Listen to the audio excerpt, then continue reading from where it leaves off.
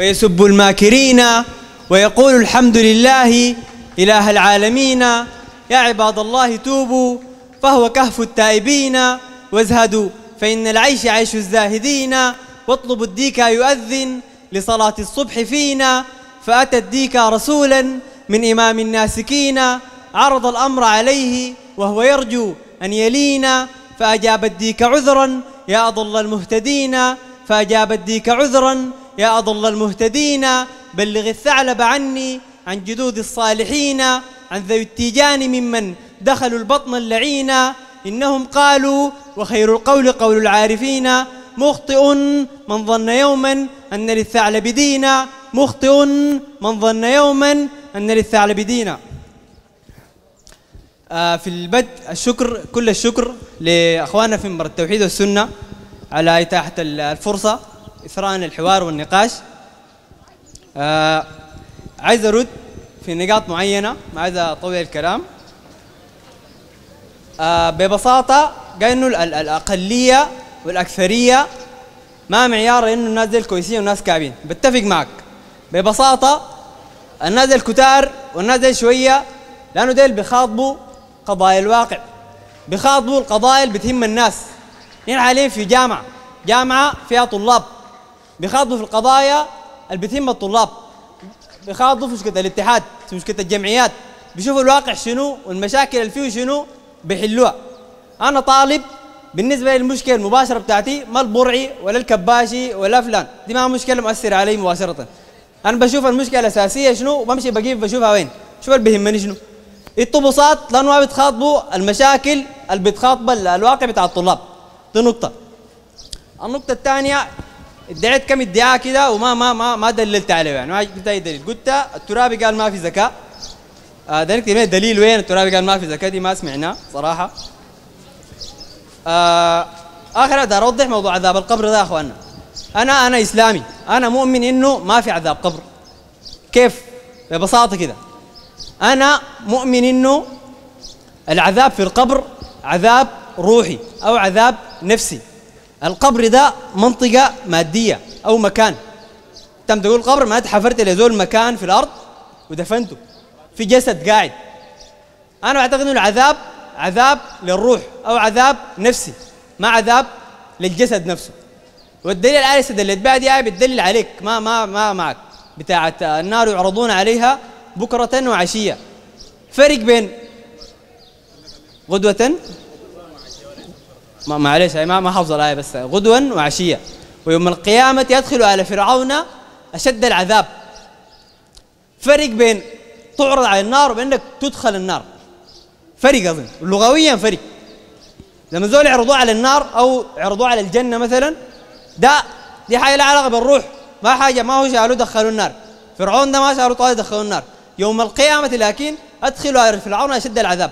العذاب الفعلي للجسد العذاب المادي بيكون يوم القيامة. في الحياة الدنيا بيكون عذاب نفسي أو عذاب بيقولوا حرب نفسية. لما زول يكون زول معذب يجيبوا يعرضوه على النار يوم صباح ومساء يعرضوه على النار ويدخلوه ده عذاب نفسي. فعليا هو ما دخل النار. فعليا هو ما دخل النار. لكن يوم القيامة حيدخل النار. فالرأي بأنه ما في عذاب قبر هو ما إنكار مطلق لأنه خالص ما في عذاب. الإنكار إنه ما في عذاب مادي للجسد. في عذاب روحي أو عذاب نفسي للنفس. وده رأي ابن عثيمين بالمناسبة رجعت له عنده نفس الرأي إنه عذاب بيكون عذاب نفسي. العذاب الفعلي بيكون يوم القيامة. آه طيب.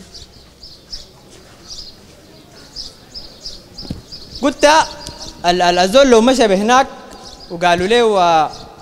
وقال إنه يعني سألته من قضية من قضايا التوحيد. إنه لو لو يعني لو انكر أنكر بعض الخرافات زي ما بتقولوا بشوتوا برا. دلني على الكلام ده. أنا ممكن هسه أمشي أقول الكلام ده هسه نمشي مع بعض أنا حداخلهم وأقول الكلام ده إنه في خرافات وفيها باطل في النهايه هنشوف حيشوتوني برا ولا ما حيشوتوني برا. عشان ما يكون كلام ساكت يعني ما تدعي الناس آه حاجة أنت بتقدر تدلل عليها. الله بيقول من جاءكم فاسق بنبأ فتبينوا أن تصيبوا قوما بجهالة فتصبحوا على ما فعلتم نادمين. هسه أنا ممكن أمشي أداخلهم وأقول لهم الصوفية عملوا وقالوا وقالوا. شوف بشوتوني ولا بشوتوني عشان ما تدعي على ناس هناك بالنسبة لموضوع التوحيد. كنت الإسلامي ما بيتكلم عن التوحيد. رسالتنا الأساسية في التوحيد قائمة على التوحيد. الترابي ذاته خلاصة نظريته في الحياة وكلامه كلامه ده كله طلع حسب التفسير التوحيدي. التفسير التوحيدي. ده ده خلاصة تجربته كلها في الحياة. تقول لها بيتكلم عن التوحيد؟ التوحيد عندنا شنو؟ الفرق إنه من التوحيد يكون في الكتب توحيد جامد إلى توحيد الحياة. ده نقود الناس إلى توحيد الحياة خالصة لله سبحانه وتعالى. من التوحيد ما يكون في الجوامع بس ولا يكون في المنابر ولا في الكتب. توحيد في الحياة كلها في كل مناحي الحياة. سياسة وثقافة وفن وأكاديميات في الجامعة ده كله توحيد. فنحن مشروعنا الاساس وفكرنا الأساسية قائمه على التوحيد. عشان ما تقول إحنا بنتكلم في التوحيد. بس ما نفس توحيدكم يعني بتاع الصوفية ده. توحيد شامل للحياة كلها. في ويش فن وثقافة وسياسة واقتصاد واجتماع كله. الحياة كلها وحدة واحدة إلى الله سبحانه وتعالى. آه ما في زكاه آه بس ما تغير ما عندي حاجة وشكرا. بس حتة انه الترابي قال ما في زكاه دي. 200 ورينا 200 قال ما في زكاه عشان نعرف بس. شكرا.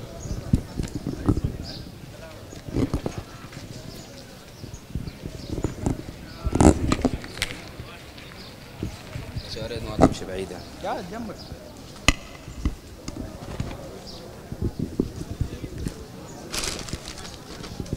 وين الكتاب الكبير جيبوا جيب جيب الكتب اللي معك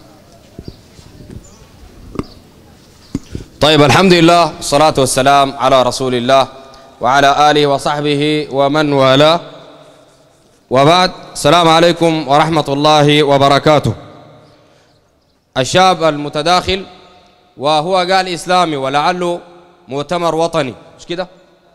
شعبي؟ أيوة. شعبي تابع للترابي.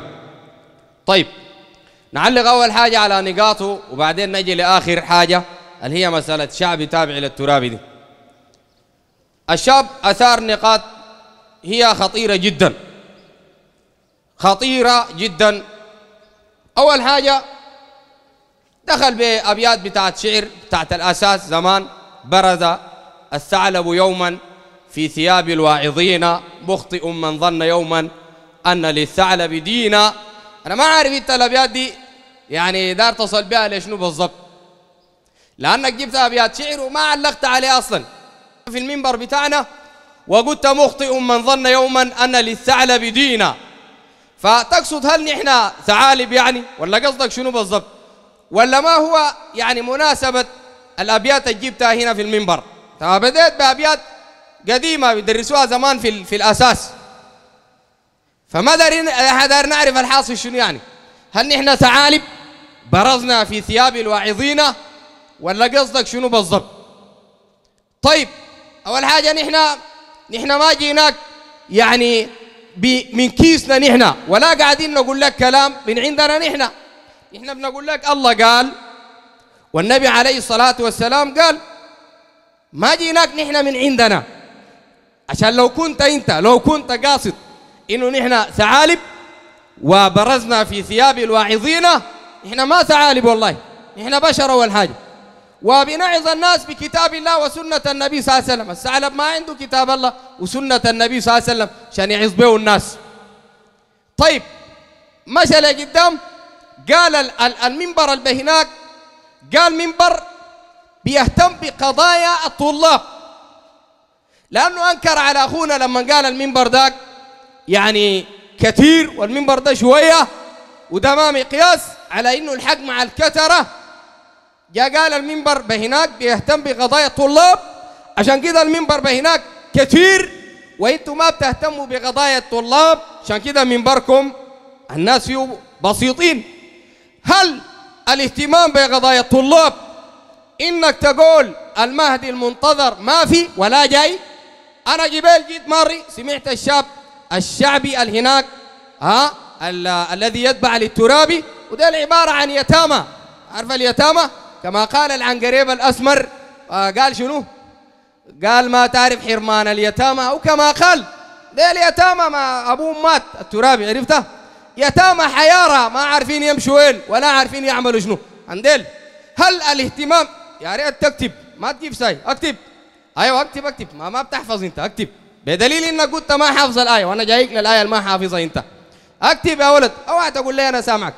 ف هل قضايا الطلاب؟ إنك تجي تقول للطلاب المسيح ابن مريم ما نازل؟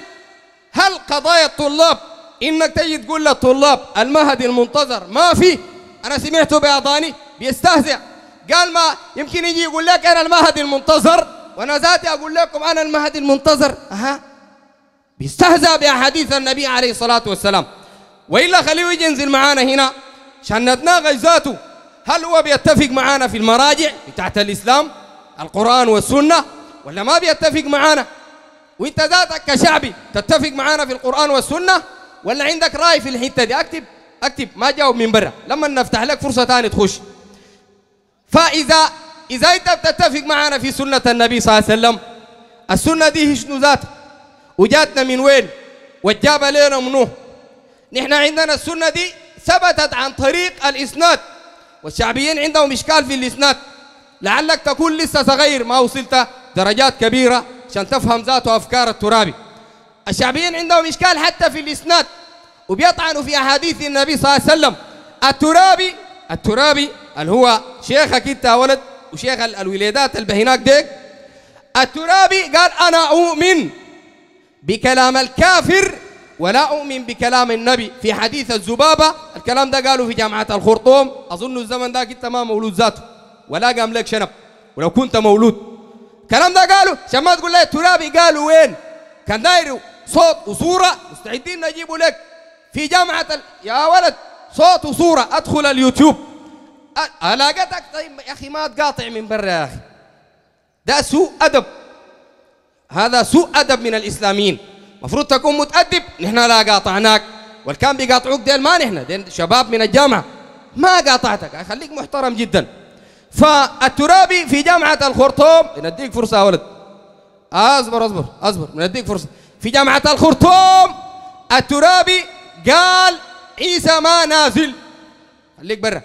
هم نديك فرصة شنو؟ يا إخواننا دي ما جامعة ولا الحاصل شنو؟ دي مش جامعة محترمة. ولا الاركان دي فيها يعني فيها أدب أدب بتاع نقاش. إحنا ما ما الشغلة ما فاكة زريبة. أي واحد يخش زي ما داير. أنا قال الله خليك برا يا أخي لما نديك فرصة. خليك محترم شاب محترم. في جامعة الخرطوم في الميدان الغربي لعله أو الشرقي الترابي أنكر نزول المسيح عيسى ابن مريم. قال ما نازل. قال تلقاهم جارين بين الصفا والمروة. جارين ماشيين جايين ماشيين. كلام فارغ كلام فارغ. ده الترابي. السعي بين الصفا و... لا إله إلا الله. يا ولد ما تتأدب أنت يا أخي. تأدب الله يهديك. أنت ما تتأدب. لا ما أنا بعد ما أخلص تجي تخش. لكن أنا بتكلم ما ممكن تقاطع. دي نمرة اثنين سوء أدب من الإسلاميين. ما عندهم أدب ولا بيعرفوا يعني أدب الحوار والنقاش. هنا فتحنا لك فرصة دخلت في منبرنا وما قاطعناك وتكلمت وقلت دايرو خلينا نرد عليك بعد ذاك ندخلك تاني. عرفت؟ الترابي قال ماشيين جايين ماشيين جايين. كلام فارغ كلام فارغ. السعي بين الصفا والمروة. قال كلام فارغ. قال عيسى ما نازل. قال يقول لك المسيح الدجال وما عارف عينه عاملة إيه وإيه كده كلام فارغ. كلام فارغ. قال ده الترابي في جامعة الخرطوم. مشى علامات الساعة. قالوا طلعوا لنا بحاجة اسمها علامات الساعة الكبرى. أنا بجيبه لك بصوته بالضبط. عرفتها؟ قال طلعوا علينا إحنا طلعنا؟ إحنا طلعنا لك. قال علامات الساعة الكبرى. وياجوج وماجوج وما تعرف إيه؟ كلام فارغ كلام فارغ. قال الأحاديث دي كلها الحديث دي كلها يا اخوانا الحديث دي كلها. أنا أنا أنا ما فاضي ما طايق أنا ما أنا طايق. كان بيقول كده. قال الحديث دي كلها كلام فارغ. ياجوج وماجوج هل في الاحاديث بس؟ ها؟ أه؟ أنت ما قريت سورة الكهف؟ في سورة الكهف. ربنا ذكر ياجوج وماجوج عرفتها قال كله كلام فارغ. الترابي بينكر القرآن. لأنه يأجوج وماجوج والدابة في القرآن. الترابي قال ده كله كلام فارغ. في جامعة الخرطوم. قال يقول لك في الصلاة قال بيعمل كده. سبحان سبحان سبحان شنو ده؟ قال ده كلام فارغ. قال يقول السلام عليكم سلام. بيسلم على مين؟ سلم على مين؟ ده كلام فارغ كله كلام فارغ. الدين كله عند الترابي كلام فارغ. جاء في رمضان الجريدة قاعدة عندنا. يا ريت تحدد معانا زمن كده عشان نجيك نجيب لك الشغل ده كله. وسائل صوت وصورة الجريدة قاعدة عندنا. قال ما في حاجة اسمها ليلة قدر. ليلة القدر ما في أصلا. الترابي قال أنا أعلم من النبي. أنا أعلم من النبي. لما عصروه قال أنا أعلم من أبي. أنا أعلم من أبي. زي زمان زمان كان مطلع للكيزان. النشيد بتاع الطاغية الأمريكان ليكم تسلحنا. زمان ده ما كله شغل الترابي. والجكة دي لله والصلعة دي لله. تقال دي حقت منه بتاعت الترابي جاب غش بها ال- ال- الكيزان. عرفتها؟ الطاغية الأمريكان لما عصروا الجماعة جابوا في ال- في في قناة الجزيرة ولعلها العربية. قال أنا ما قلت الطاغية الأمريكان قال أنا قلت الطاغية لأمر كان لأمر كان. ما زول ثعلب زول ثعلب عرفتها مما تحصل بجاي بيفر وبيمشي بهناك عرفتها دي مراوغات كلها من الترابي ترابي هذول ما خلى شيء في الدين. وما أنكروا الترابي الصلاة أمسك الصلاة. أنكر فيها الحاجات اللي قلتها لك دي وغيرها. الزكاة قال ما في زكاة. عديل قال ما في زكاة. أمشي للحج. الصفا والمروة. كلام فارغ. قال يقول لك رجم الشيطان. معقول يا اخوانا يعني إحنا بنصلي على الشيطان ده كلام فارغ قال. قال يقول لك رجم الشيطان أنكروا الترابي عرفتها كله ده أنكروا الترابي بعد ده كله تجي تقول لي أنا مؤتمر شعبي؟ بالله ما بتختشي. ما بتخجل. تقول لي أنا مؤتمر. ده شيخك. ما بتخجل. تقول لي يا أخي أنا مؤتمر شعبي. فقال ده اللي بيخاطبوا قضايا الطلاب. يا زول دي ما قضايا الطلاب. دي قضايا أمة إسلامية. دي اللي بينكروا القرآن وبينكروا سنة النبي عليه الصلاة والسلام. تقول لي بيخاطبوا قضايا الطلاب انت اظن عجبتك الصفقة التعبانة. عشان يتلموا لهم كم بيت؟ ثلاثة خمسة بنات بيصفقوا لهم. يقول لك بيخاطبوا قضايا الطلاب. الآن وريني الناس ديل بيخاطبوا شنو من قضايا الطلاب؟ والطلاب بيستفيدوا شنو من منبر الشعبيين؟ يستفيدوا شنو؟ يا الآن يطلعوا بشنو يعني؟ انت كزول طالب هل الشعبي ده بيخفض لك الرسوم الدراسية؟ لا. انت كزول طالب هل الشعبي ده بيقلل لك رسوم المواصلات؟ لا. انت كزول طالب هل الشعبي ده بيجيب لك طحنية وحلويات في الداخلية ساكن انت فيها؟ تقول لي بيخاطب قضايا الطلاب؟ وين قضايا الطلاب يا ولد؟ ديل بيهدموا الإسلام. تعرف المعلومة دي؟ ديل بيهدموا الإسلام. اللي علموا له الترابي إنه يهدموا الإسلام. ديل أولاد الترابي طيب. قال أنا مشكلتي الأساسية كطالب ما البرعي ولا المكاشفي. ده قال دي عندي ما مشكلة أساسية أصلا.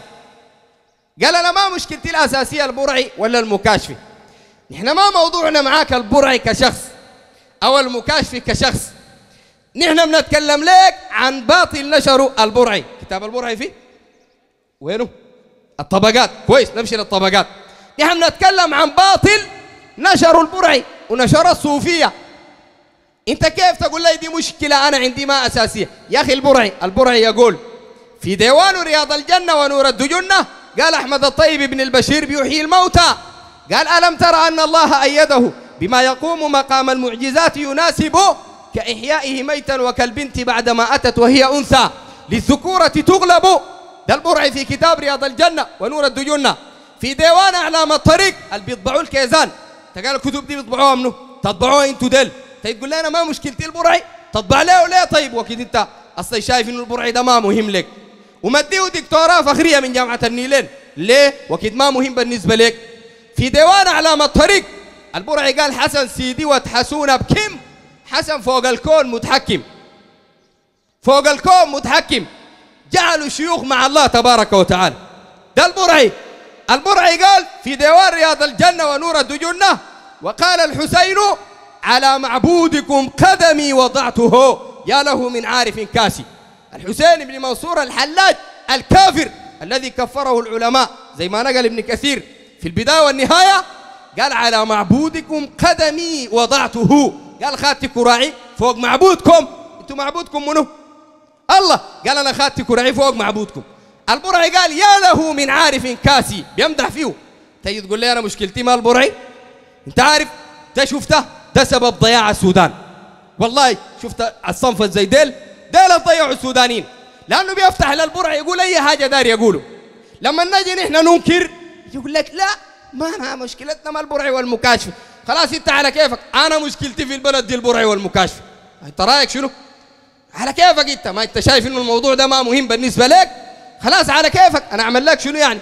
لكن لابد تعرفوا يا طلاب لابد تعرفوا إنه الطرق الصوفية دي الطرق الصوفية كلها ضيعت الإسلام في السودان. ومن أكبر مشاكل الطلاب وجود الطرق الصوفية في السودان. مش أنت داير قضايا الطلاب؟ يا طالب الآن ما قاعد تلقى حافلة تصل بها البيت. مش في زحمة في شارع في زحمة. مواصلات ما في. ال ال ال السكر غالي. والموية ماشية غالية. والأكل ما قاعد تاكل كويس. مش كده؟ هسه قاعد تاكل زي ناس السعودية؟ وين بتاكل زيهم يا زول؟ طيب ليه؟ المشكلة شنو؟ المشكلة الأساسية في الموضوع ده شنو؟ نحن بنقول لك المشكلة من كلام الله تبارك وتعالى. ربنا ذكر لنا المشكلة. الإشراك بالله تبارك وتعالى. البنشر الصوفية لأنه الله قال ولو أن أهل القرى آمنوا واتقوا لفتحنا عليهم بركات من السماء والأرض. افتح لي ده علي يلا. جيب لي كرامة. يا ريت كرامة كده. من النوع فتش جيب. عشان أنا دار أوري الشاب ده بس. عشان نشوف هل دي مشكلة من المشاكل في السودان ولا ما مشكلة؟ وهل بتهمنا كمسلمين ولا ما بتهمنا كمسلمين؟ إذا كان يا إخواننا البرعي والمكاشفي والطرق الصوفية بتنشر كلام زي ده ومسبب الضيق في المجتمع ومسبب الضائقه الاقتصادية تيجي تقول لي أنا ما مشكلتي البرعي ولا المكاشفي عرفتوا يا إخواننا؟ عرفتوا سبب ضياع الدين في السودان؟ يا هم الناس ديل ديل. أنا الآن بدخلك توريني بس رأيك شنو في الكلام ده. وريني لحظة. توريني هل الكلام ده بالنسبة لك أنت كإسلامي زي ما أنت قلت. أنت مش قلت إسلامي؟ إسلامي يعني شنو؟ مش كتا- كتاب الله وسنة النبي صلى الله عليه وسلم؟ ولا عندكم إسلام تاني؟ مش ده هو الإسلام؟ أنا دايرك كإسلامي. توريني الكلام ده صح ولا غلط؟ بس ولا تزيد لي حرف واحد. يا صح يا غلط. دي يا أخي وانت هسي ما سمعته عرفته غلط كيف؟ يمكن صح. أيوه قريته. يعني ده بتاع الطبقات ده غلط. أيوه. طيب كيف تقول ما مشكلتي؟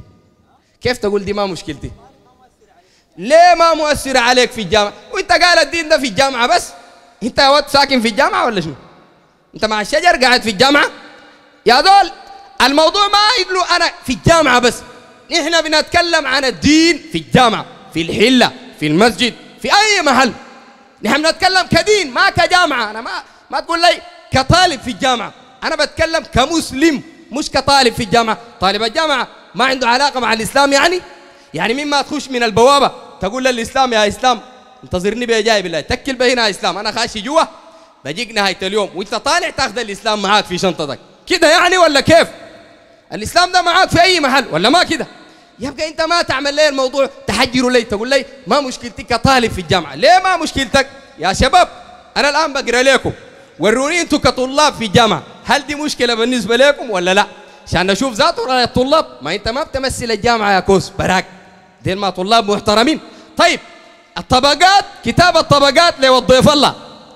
قال قال الشيخ إدريس ود الأرباب والكتاب ده بدرسوه في جامعة الخرطوم. في جامعة الخرطوم. إحنا قرينا منه مقتطفات. في جامعة الخرطوم مقتطفات من هذا الكتاب. الطابع الدار السودانية للكتب هناك في الخرطوم شرقي الميدان بتاع أبو جنزير تمشي قدام كده. وفيه رقم ايداع عرفتها؟ والحمد لله إنه الطلاب في الجامعة ما زي صوفيا الدراويش اللي بيقابلونا في السوق. يقول لك لا كتبتوا أنتوا. الطلاب فاهمين بيعرفوا إنه رقم ايداع معناته الكتاب ده حق الزول ده. لأنه ما بيدوك رقم ايداع ساك. قال قال الشيخ إدريس ود الأرباب. إدريس ود الأرباب أفريقيا. شيخ معروف. في دول ما بيعرفوا كل السودانيين بيعرفوا إلا تكون ما سوداني. قال شنو إدريس ود الأرباب؟ قال درجات الأولياء على ثلاثة أقسام. الأولياء الصالحين عند الصوفيه بتقسموا لثلاثه كبرى ووسطى وصغرى. نشوف الأولياء بتاعنا ديل كيف. قال فالصغرى أصغر ولي عند الصوفيه يطير في الهواء ويمشي على الماء. ده برلوم يا داب تاته تاته تعرف تاته والله ده عند الصوفيه يا داب لسه صغير. ما بيرضع لسه ولي بيرضع. ما قال ولي صغير. يطير في الهواء ويمشي فوق المويه. عرفتها؟ نحن ما لقانا صوفي واحد طاير. أنا ما اعرف بيطيروا بوين. عندكم خطوط حقتكم براكم ولا شنو؟ يا كوز جيب لنا صوفي يطير. انت الصوفي ما, ما عندك معه مشكلة. وما تجي هنا تغير الموضوع. انت الصو... الصوفي ما عندك معه مشكلة لأنك بتطبع له. وبتدافع عنهم عرفتها وبتجي تقول للطلاب أنا ما مشكلتي البرع والمكاشفي اذا أنت معناته ما عندك مشكلة مع التصوف. أصغر ولي يطير في الهواء يمشي وين؟ يمشي فوق الموية. نشوف الولي اللي بعده اللي في النص ثانية. قال أن يطيروا في الهواء ويمشوا على وجه الماء وينطقوا بالمغيبات. ديل الولي الصغار الأولياء الصغار. ينطقوا بالمغيبات. يعني بيعلموا الغيب. وربنا قال قل لا يعلم من في السماوات والأرض الغيبة إلا الله. الصوفية قالوا الأولياء الصغار عندنا بيعلموا الغيب. طيب قال والوسطى الدرجة الوسطى أن يعطيه الله تعالى الدرجة الكونية حيث يقول للشيء كن فيكون. ده الولي في النص. يا داب سنة ثانية. عند الصوفية يقول للشيء كن فيكون. يا طلاب الكلام ده باطل ولا حق؟ حق ولا باطل؟ باطل. يهمكم؟ الكلام ده يهمكم ولا ما يهمكم؟ انت معناتها ما بتتكلم باسم الطلاب. هم ديل طلاب محترمين. انت هذول كوز بطريقتك قام يشوف لك دنيا ثانية نحن يهمنا ننكر هذا الكلام. ويهمنا نقول الكلام ده باطل بإجماع الطلاب. عرفت الحاصل؟ قال ده الولي في النص. قال و والولي الكبير قال وهذا مقام والكبرى هي درجة القطبانية. القطب عند الصوفية دوصل درجة درجة ممكن يكلم الله عديل يتكلم مع الله عديل. زي ما قال محمد عثمان عبد البرهاني ذكر عن واحد اسمه العيدروس. قال وكنت أمشي قال بين يدي ربي تحت العرش. قال بمشي عادي. مشى العرش فوق ومشى كده. قال فقلت لله كذا وقال لي كذا. يعني قال لي الله كده والله قال له كده. طبعا ما جاب لك الكلام اللي قاله لأنه كذاب. قال لك قلت له كذا وقال لي كذا. كيف يا كوز يا شعبي؟ تقول لي الكلام ده ما بيهمني. ما بيهمك كيف؟ الكتاب ده أنا جايبه من بيتنا. الكتاب ده جايبه أنا من بيتنا. مش مطبوع في الدار السودانية للكتب والدار ويدرس في الجامعة تجي تقول لي أنا ما بيهمني. عشان تعرف الكيزان ديل؟ اصله ما دايرين كلام في الموضوع ده. دايرين انت صوفي؟ أيوه. تعال تعال. انت برضه ابدقن أي برضه تعال تعال تعال. ما مشكلة ما مشكلة. كلنا نجتمع وده التوحيد الجبال ذكروا مش قال لك إحنا عندنا توحيد؟ انت قال توحيد وشنو؟ التوحيد حقكم يا ولد. ما التوحيد الله جابه في القرآن والسنة؟ توحيد الله في القرآن والسنة. ولقد بعثنا في كل أمة رسولا أن اعبدوا الله واجتنبوا الطاغوت. توحيد الله تبارك وتعالى لما بعث النبي صلى الله عليه وسلم معاذ إلى اليمن قال يا معاذ إنك تأتي قوما أهل كتاب فليكن أول ما تدعوهم إليه إلى أن يوحدوا الله. في رواية شهادة أن لا إله إلا الله. ده التوحيد بتاع الله وبتاع النبي صلى الله عليه وسلم. لكن توحيد الكيزان قارين يلموا الشغلة كلها. أنا وإنت الصوفي وذاك الشعبي وذاك الوطني كلنا يقول لك ماعوننا واسع ماعوننا واسع. والكلام ده جابوا لهم منو؟ جابوا لهم حسن البنا الراس الكبير. في كتاب رسائل التعاليم ده حسن البنا. قال أيها الإخوان المسلمون إن دعوتكم هذه حقيقة صوفية ودعوة سلفية وحركة رياضية وهيئة سياسية. ده الدين بتاع ده سيدك ذاته علمك النجرة. حسن البنا رسائل التعاليم. قال الكلام ده. يعني شوف الآن بتلقى الأخ المسلم الإسلامي زي ما هم بيسموا نفسهم الكوز. طبعا بينقسم لإثنين شعبي لا مال له وكوز له أموال كثيرة. أنتم عارفين إنهم براكم عارفين. ما إنت قال شال السلوات ده بكون ما عنده حق الفطور ما شعبي والترابي مات بابا اللي كان بيصرف عليهم مات. ما في حاجة ثانية عرفت الحاصل ديل الكيزان انت قايل شنو؟ هم ديل الكيزان. الكوز تلقاه تلقى الكوز في النادي بتلقى قاعد رئيس النادي. تمشي المسجد تلقى الإمام بتاع المسجد.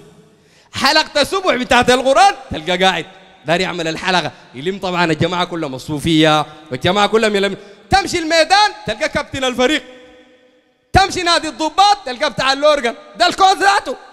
والله العظيم تمشي السياسة المنابر بتاعت السياسة تلقاها. إنه ينبغي والآن ولا بد. تلقى قاعد هناك محل السياسة.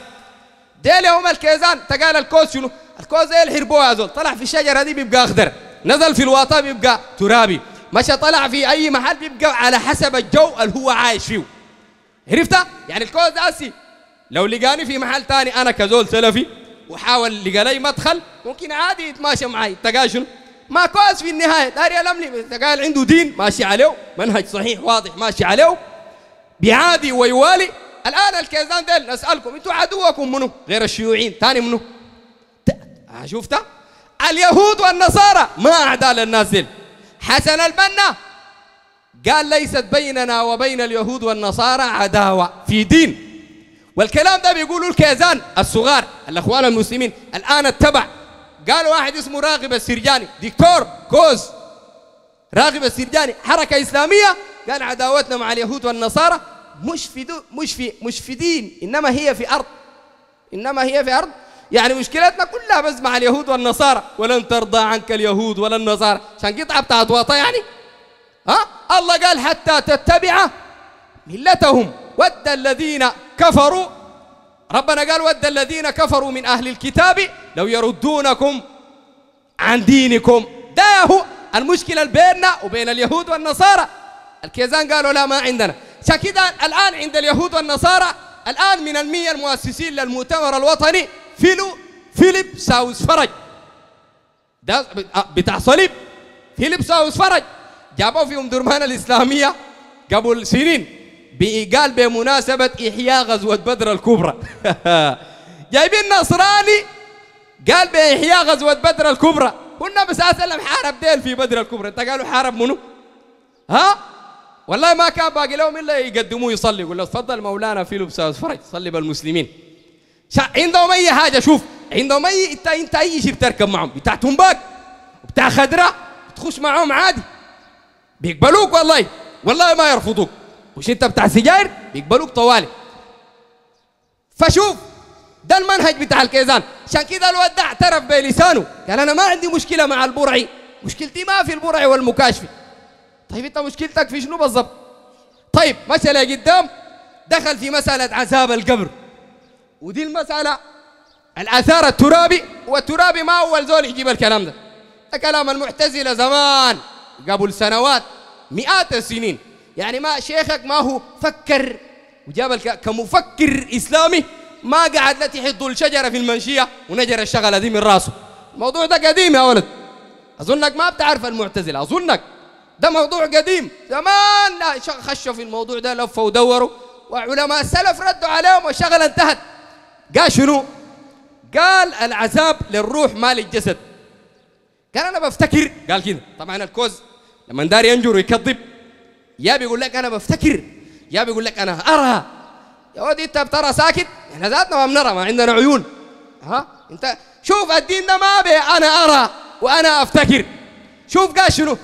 قال أنا بفتكر إنه الآية بكرة. قال شنو؟ قرأها كيف؟ قرأها غلط.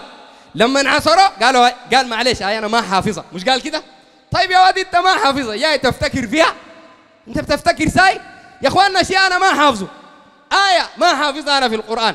معقول آجي أوضح المعنى الصحيح للناس؟ أوريهم معنى الآية؟ هو أنا ما حافظها ذاته. ما حافظها يا ناس. أوري معناها للناس كيف؟ أنت أول حاجة احفظها. بعد ذاك تعال شوف أنت ذاته مرجعيتك في التفسير شنو؟ مرجعيتك شنو؟ الترابي. بفتكر وأرى. أكتب الكلام ده أنا ما بسألك أنت تكتب. لما أسألك تكتب. عشان بعدين تخش إن عرفت ما جاوب من برا. مرجعيتك شنو في التفسير؟ هل الترابي هل أنا بفتكر وأرى؟ لو قلت أفتكر وأرى ما بنحل المشكلة لأنه نحن برضه بنفتكر ونحن برضه بنرى ونحن بنفتكر ونرى إنه رأيك وافتكارك ما عنده علاقة مع الرأي والافتكار. أنا نحلها كيف؟ نحلها كيف؟ الدين ما كده يا ولد. ما بي أنا أرى وأنا أفتكر. قال أنا شايف قال أنا برى وبفتكر. إنه العذاب نعم. قاعد؟ كويس. قال أنا شايف إنه العذاب في القبر. ما للروح ما للجسد إنما العذاب للروح وينو دليلك على الكلام ده؟ أنت شايف؟ أنت خشيت جوا؟ شفت من وين؟ يا اخوانا الزول المفروض يكون عنده عقل. لما تقول لي أنا أفتكر وأنا شايف وأظن إنه العذاب في القبر ما للجسد إنما للروح ما يا إما تكون أنت خشيت يا إما في زول خشى وكلمك. ولا ما كده يا إخوان؟ واحد من اثنين يا تكون خشيت أنت جوا. وشفت الحاصل؟ ولا احتمال الترابي رسل لكم مسكول ولا حاجة. إنه الشغلة دي ما- الله أعلم. تجينا خش لنا هنا بعدين تورينا. أنت خشيت جوا؟ لا ما خشيت. شفت أنت بعينك؟ لا لا ما شفت. طيب افتكرت كيف إنه العذاب لل- للروح ما للجسد؟ منو اللي قال لك؟ إذا قلت لي ده تفسير الآية الآية أنت ما حافظها صح. عرفت تفسيرها كيف؟ ومنو الفسرها لك أصلا؟ وهل أنت مؤهل تفسر القرآن؟ وهل شيخك الترابي؟ الما حافظ القرآن. الما حافظ القرآن. هل مؤهل يفسر القرآن؟ عشان ما تتكلم ساي. قام قال شنو؟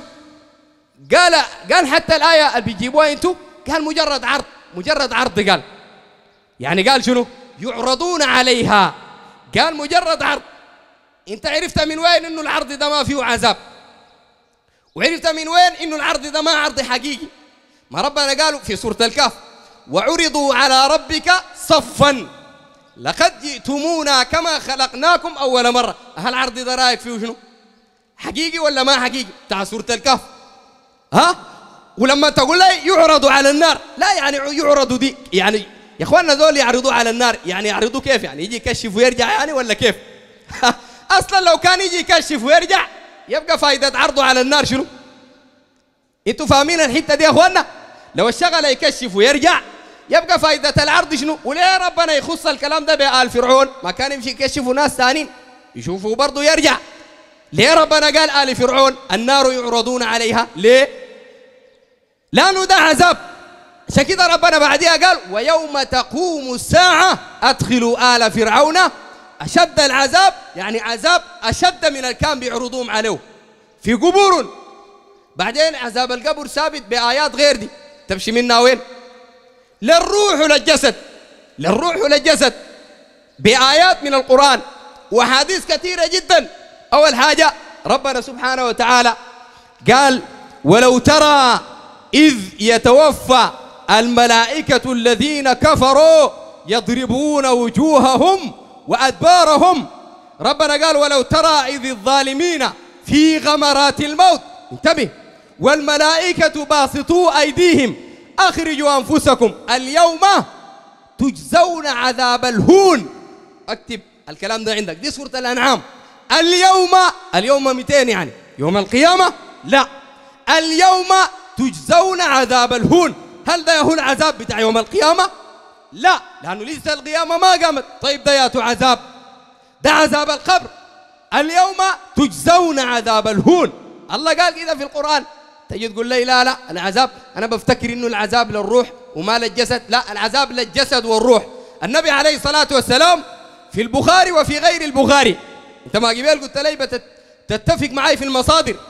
النبي عليه الصلاة والسلام لما ذكر عذاب القبر أول حاجة قال للسيدة عائشة رضي الله عنها إن عذاب القبر حق. قال للسيدة عائشة كده إن عذاب القبر حق.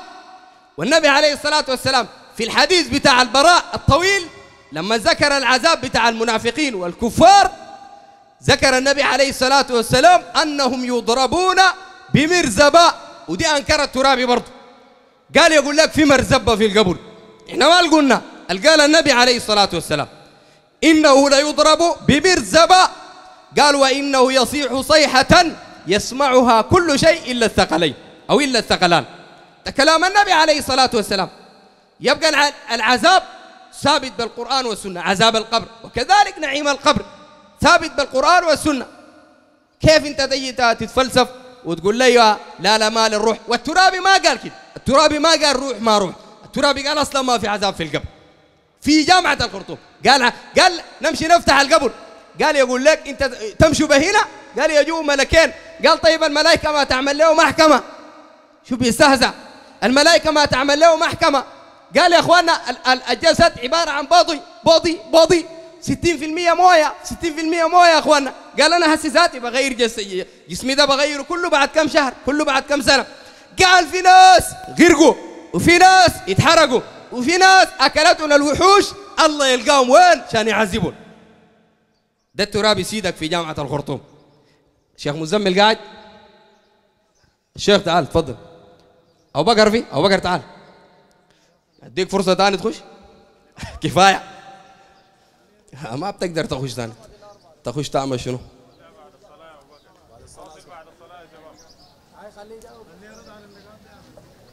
قال نحن عندنا التوحيد. توحيدنا قال توحيد في الفن وتوحيد في السياسة وكذا قال ده التوحيد حقهم. كويس. الحمد لله والصلاة والسلام على رسول الله. توحيد في الفن كيف يعني؟ لا أنا درى يوحدوا الفنانين يعني يغنوا في حفلة واحدة ولا كيف؟ توحيد في الفن ده كيف؟ أنا ما فاهم ذاته. وتوحيد في السياسة كيف يعني توحيد في السياسة؟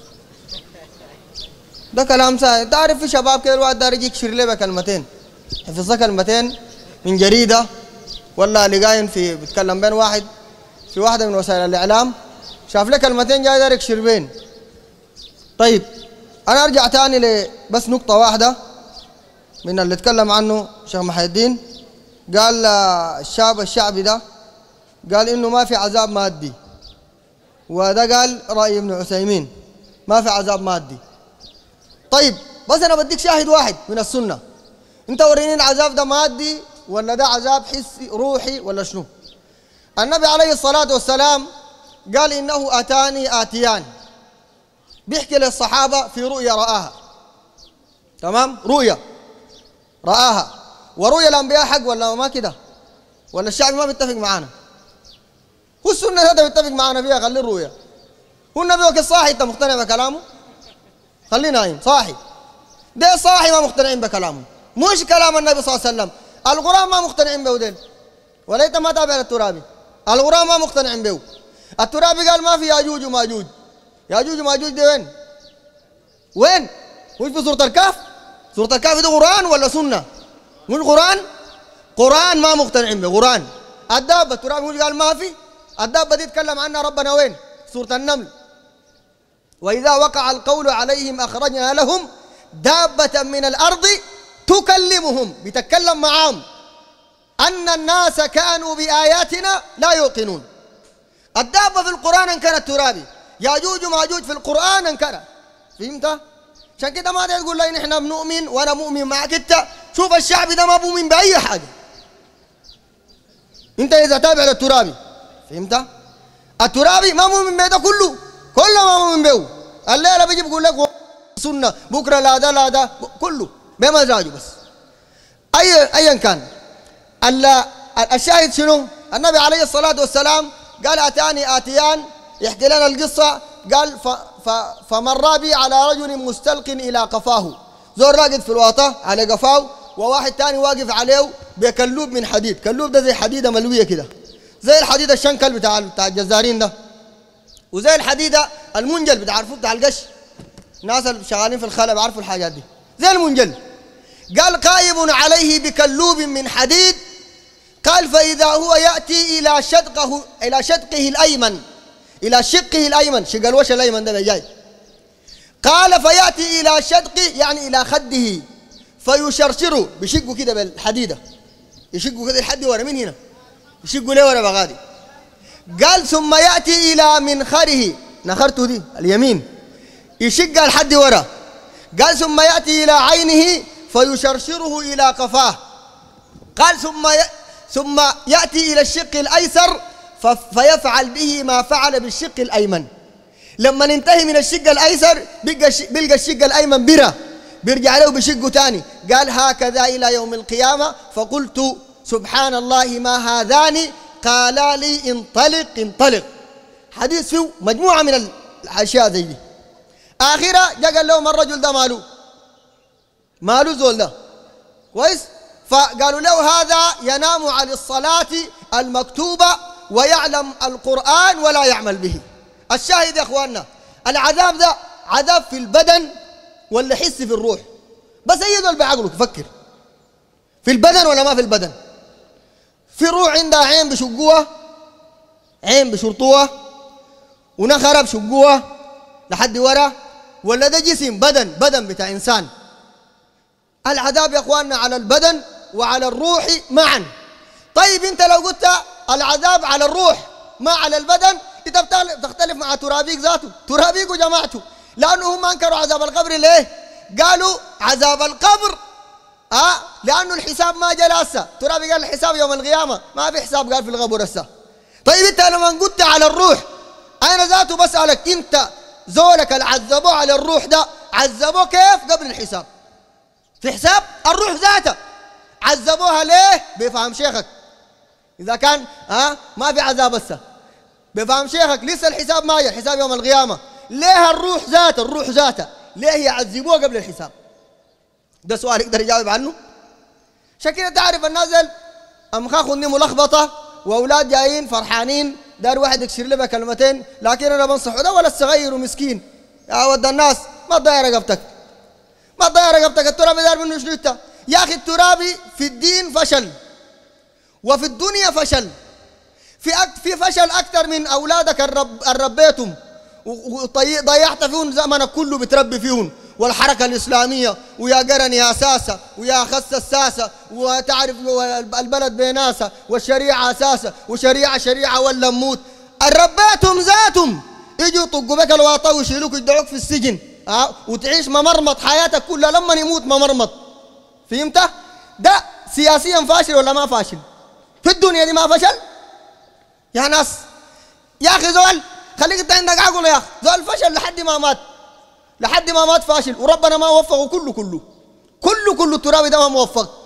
سبحان الله أيام وفاته دارين يصنعوا منه قيصر من القياصرة وعالم من علماء الأمة والقنوات شغالة الشروق وما تعرف بتاعت حسين خوجلي ديك وإذاعة المساء وشنو؟ يجيبوا في الترابي وروجوا. العلامة فتعرف شنو؟ ربنا سبحانه وتعالى قيض لهم مقطع 12 صغير فيه كفريات وضلالة الترابي المقطع الحتة ده انتشر أكثر من ترويج ده كله. ومات الترابي والناس مشكلين هو كافر ولا مسلم؟ خليك منه عالم ولا ما عالم. بعد الصلاة أجمعين. وبعد آه لا زلنا في محاور المنبر يا إخواننا والمداخل. الكلام اللي ذكره قبل الصلاة أنا علقت يا دوب على النقطة الأولى وعلقوا على غيري. اللي هي بتتعلق بعذاب القبر. وقلنا يا إخواننا عذاب القبر من المسائل الثابتة ومن المسائل العقدية. والناس اللي بتناقش في الموضوع ده أنا ما أدري ليه النقاش الكثير مع وضوح الأدلة. مسألة واضحة جدا. النبي عليه الصلاة والسلام لما السيدة عائشة رضي الله عنها جاءت امرأة يهودية دخلت على السيدة عائشة فقالت يهود تعذب في قبورها. فالسيدة عائشة ذكرت للنبي عليه الصلاة والسلام فقال يا عائشة إن عذاب القبر حق. حق ما في شك. تمام؟ يلا الشبهات اللي اعترضوا بها على عذاب القبر كلها شبهات واهية. زي الكلام اللي بيقول لك إنه الدنيا ما فيها حساب الحساب بعدين يوم القيامة. لا شك يا أخواننا إنه الحساب الأكبر والعقوبة يوم القيامة. الحساب يوم القيامة والعقوبة النهائية يوم القيامة. لكن ده ما معناها إنه ما في عقوبات في الدنيا. ما معنى كده؟ طيب ربنا سبحانه وتعالى قال ولو ترى إذ يتوفى الذين كفروا الملائكة يضربون وجوههم وأدبارهم. طيب الملائكة بتضربهم ليه؟ ده نوع من العذاب ولا ما نوع من العذاب؟ تضربهم الملائكة. وهل القيامة قامت؟ القيامة ما قامت. تضربهم بتين تضربهم حين الموت. في وقت الموت في عذاب. ده مما يدل على إنه يا إخواننا وإن كان العذاب والنعيم بتاع الإنسان بعد الحساب يوم القيامة لكن في عذاب في الدنيا. ربنا قال ولنذيقنهم من العذاب الأدنى. دون العذاب الأكبر لعلهم يرجعون. في عذاب في الدنيا في عذاب في البرزخ في عذاب بعدين يوم القيامة. ما دي, دي ما شبهه اصل يقولوا يقول لك آه بعدين الحساب وهسه مفترض يحاسبون في الأول وما حاسبون يعذبون ليه؟ ده كله كلام واهي. ربنا سبحانه وتعالى قال ولو ترى إذ الظالمون في غمرات الموت. يعني في وقت الموت. والملائكة باسطوا أيديهم. يعني بالعذاب. أخرجوا أنفسكم اليوم تجزون عذاب الهون بما كنتم تقولون على الله غير الحق وكنتم عن آياته تستكبرون. إذا يا شباب الشبهة اللي بتقول لك إنه لسه ما حاسبوهم؟ ليه يعذبوهم؟ نقول العذاب فيه لأن ربنا سبحانه وتعالى أعلم بمآلات العباد. ربنا أعلم بالإنسان اللي في النهاية حيدخل الجنة من؟ وفي النهاية حيدخل النار من؟ وربنا سبحانه وتعالى يعاقب الناس على قدر ذنوبهم. أنت عارف في ناس العذاب ده بالنسبة لهم في القبر ما كفار. هم ما كفار ذاته. والعذاب في القبر بالنسبة لهم طهارة ونقاء. نقاء من الذنوب اللي ارتكبها في الدنيا. العبد ينظف من الذنوب. أحيانا الناس ينظفوا من الذنوب وينقوا بالمصائب في الدنيا. زول تجيه مصايب يرفضوه من الجامعة. كويس. تجيه مصايب كثيرة جدا. مرض في بدنه. نقص في أهله. نقص في المال. أي عقوبة من العقوبات؟ قال النبي عليه الصلاة والسلام عجبا لأمر المؤمن فإن أمره كله خير. قال إن أصابته ضراء صبر فكان خيرا له وإن أصابته سراء شكر فكان خيرا له. كويس؟ كله خير. ليه؟ ينقى به المؤمن. حتى يلقى الله تبارك وتعالى وليس عليه ذنب. ينظف المؤمن.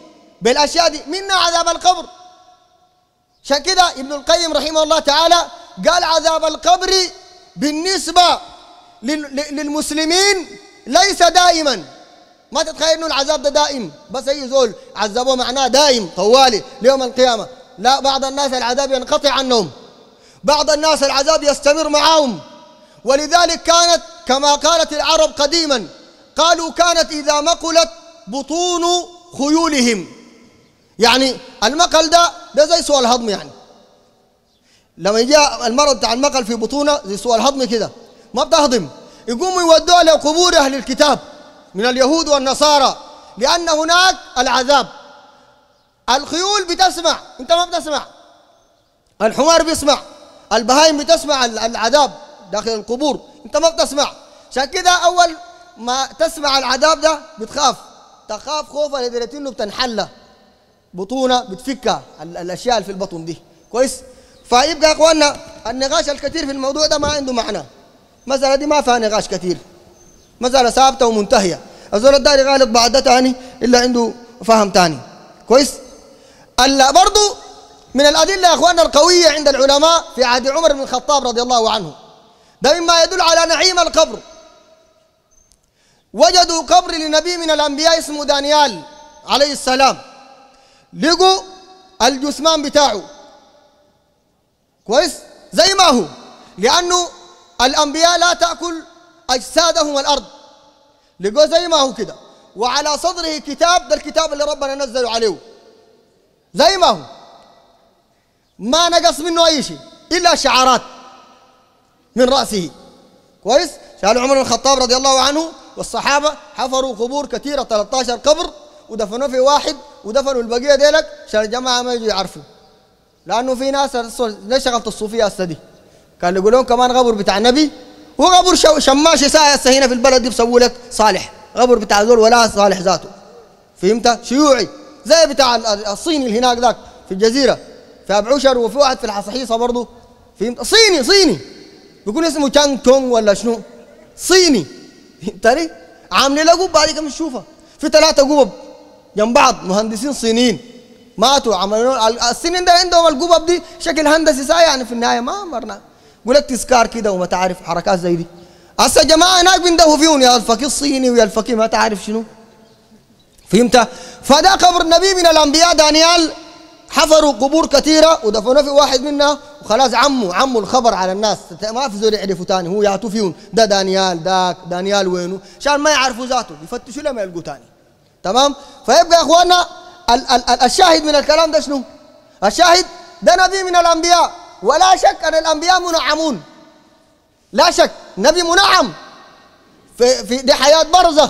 لا شك إنه منعم. عشان كده لا حديث عائشة رضي الله عنها قالت ما من نبي من الأنبياء قالت قبض إلا وأري مقعده من الجنة. يرى مقعده من الجنة. كويس؟ ويفتح له باب إلى الجنة ويأتيه من نعيمها. فهذا ينعم النبي من الأنبياء. ونحن تشوفه قدامنا. أنت ما حتشوف أي حاجة. وسبب من الأسباب اللي خلت ترابي وشوف عدل ينكروا عذاب القبر. قالوا لأنه ممكن نفتح قبر من القبور وما نشوف أي حاجة. يعني تمشي السلام يقول لك دايرين بيان بالعمل عشان يعرفوا في عذاب قبر ولا ما في. نقول لك نمشي المقابر. نحفر قبر بجاي. نمشي مقابر النصارى ومقابر المسلمين. نحفر قبر من هنا وقبر من هناك. نشوف ده في عذاب هنا ولا ما في؟ في نعيم هناك ولا كده؟ فهمت كلامي ده؟ وده ده من من أغبى ومن أبلد الناس اللي بيقول كلام زي ده. ليه؟ لأنه عذاب القبر يا إخواننا من أحوال الآخرة ما من أحوال الدنيا من أحوال الآخرة. وده جزء من حياة الدار الآخرة ما جزء من الحياة الدنيوية. وإلا لو كان الناس الليلة بيفتحوا القبر يشوفوا ذاك منعم ويشوفوا ده معذب كويس؟ يبقى ما في قيمة للامتحان بالإيمان بالغيب. لأنه خلاص بقت بقت شهادة كده. تاني اللي بيكفر منه ذاته. ما في ذا بيكفر ذاته تاني. بعد يفتح كده يقول لك يا الله هذه نار مولع. شوفها بعينه. ده شنو ده انت ما بتشوف انت بعينك. لأنه ده إخواننا من الشغل بتاع الآخرة بعدين. ده ما شغل بتاع دنيا. فهمت؟ لكن ده من غبائهم ومن بلادتهم. آه طيب تاني. قال خلاصة كلام الترابي التوحيد. وقال عنده كتاب اسمه التفسير التوحيدي. هو انت قال الشغلانه بالأسماء يعني؟ يعني عنده تفسير توحيدي معناه موحد؟ هو البرعي عنده كتاب اسمه التوحيد. البرعي خليك من الترابي. عنده كتاب اسمه التوحيد. عنده كتاب اسمه حياة الصحابة. لكن التوحيد اللي بيتكلم عنه هو ده ذاته. التوحيد ده هو ده ذاته شرك. فهمت؟ نحن ما قضيتنا يكون عند الترابي كتاب اسمه التوحيد ولا ما يكون عنده؟ نحن قضيتنا العقيدة والفهم الفهم اللي رسخوا الترابي للشباب ديل. فهموا شنو في الدين؟ عقيدته شنو الترابي الترابي الآن أنا داير حاجة واحدة من الثوابت عند الدكتور حسن الترابي واحدة من الثوابت. شنو؟ ثابت ما بيتزعزع. زي ثوابت الرياضيات دي. مش عندكم ثوابت؟ يقول لك ده ثابت. ثابت ده يعني ما بيتغير صح؟ ولا شنو؟ أنا ما بعرف غايته. مش في ثوابت؟ طيب ها ترابي الثوابت بتاعته شنو؟ هل القرآن عنده من الثوابت؟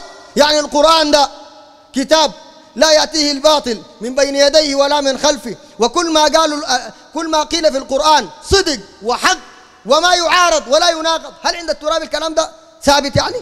ما إنه ما ثابت.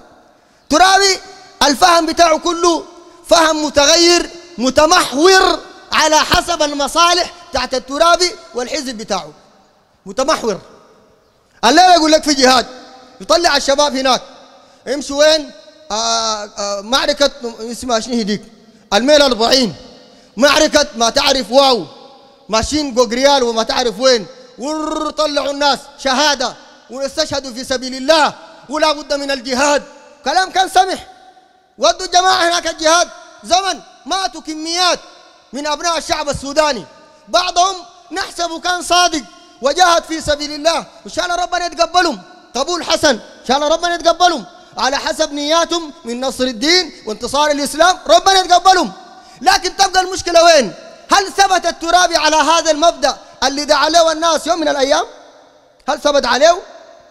هل بقى بيفتي دائما إنه ده جهاد في سبيل الله وجهاد شرعي. والماتوا ديل ربنا يتقبلهم شهداء. هل بيقول كده؟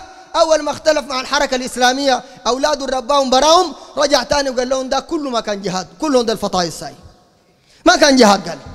ليه؟ لأنه فقه الترابي ما فقه ينبني على ثوابت وأشياء زول يعتقدها ويدين بها ويتعبد بها ويموت الله عليه. ويموت يقابل الله عليها لا. يقوم على شنو؟ على شغل بتاع شغل بتاع مواقف. مواقف بس. الليلة علاقته كويسة مع الإسلاميين يشكر الدين. بكرة علاقته تخرب مع الإسلاميين ينبذ الدين. جاء طعن في الجهاد. جاب ورا طعن في الحور العين ذات اللي كان يوم من الأيام بيمني الشباب بأنه الواحد لما يموت شهيد في سبيل الله ويقاتل جون قرنق ويموت ها؟ بيمشي هناك ويزوجوا له من الحور العين. شهيد. 72 حورية من الحور العين. جاء راجع الترابي بعد فترة قال لهم ما في حور عين ما في.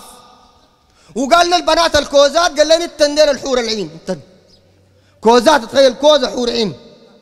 يا أخي ربنا قال لم يطمسهن إنس قبلهم ولا جان. ديل كده برضو؟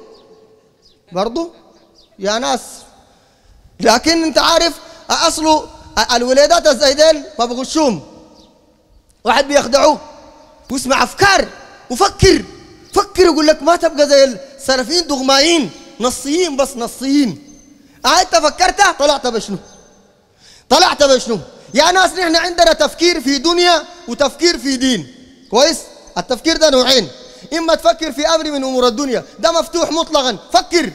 زي ما أنت داير. أنت كسوداني فكر كده تجي لنا حاجة. أنت الآن في كلية الهندسة في واحدين بيجي بيركبوا طيارات. في واحدين بيناك ما عارف يوصلوا كهرباء ولا بيسووا شنو. واحدين بيفتحوا موية كده. وبتاع.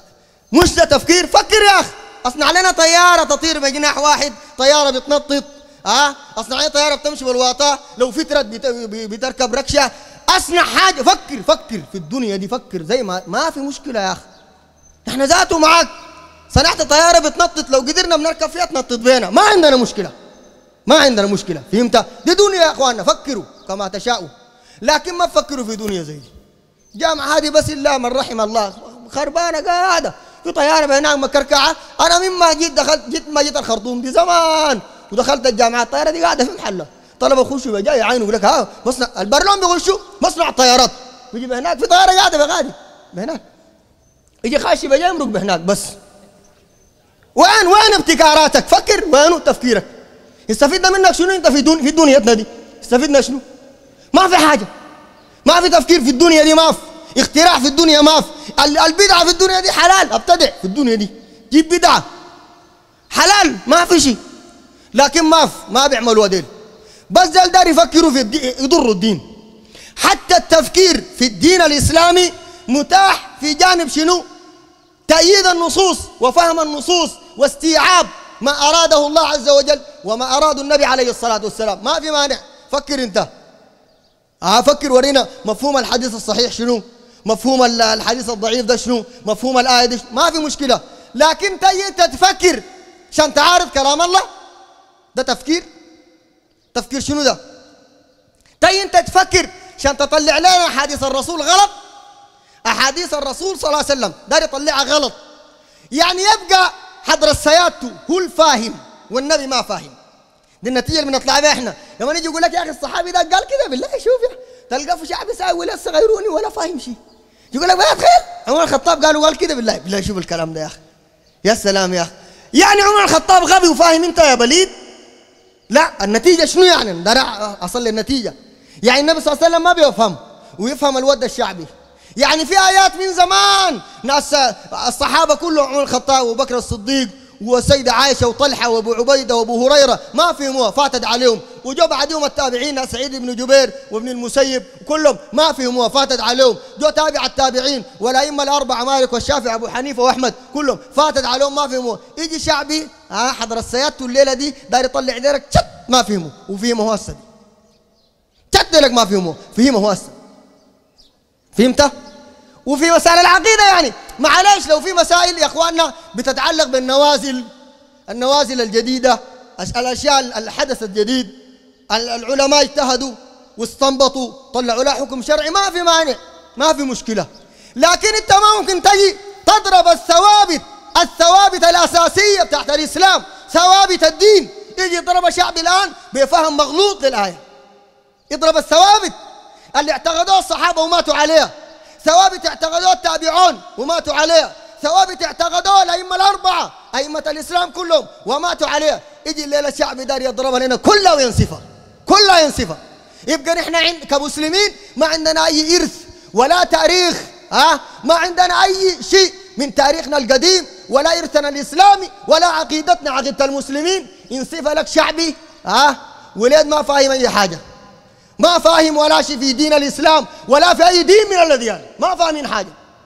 يبقى نحن لو جبنا بكلام زي ده نبقى إحنا أغبياء ذاته. نبقى نحن ذاته أغبياء. ما ممكن لنا عقيدة نزول المسيح.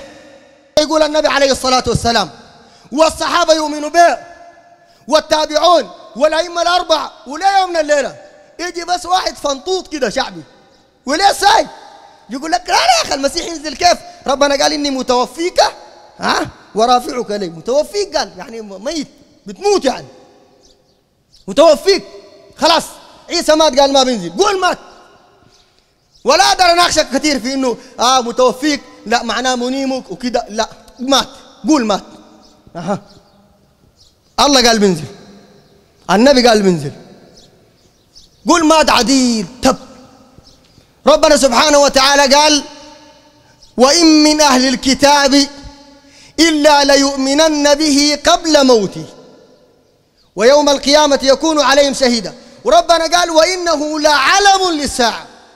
وإنه لعلم للساعة. علم للساعة يعني شنو؟ يعني علامة. يقول لك ده علم السودان. علم السودان يعني شنو؟ يعني ده شعار علامة. علامة السودان.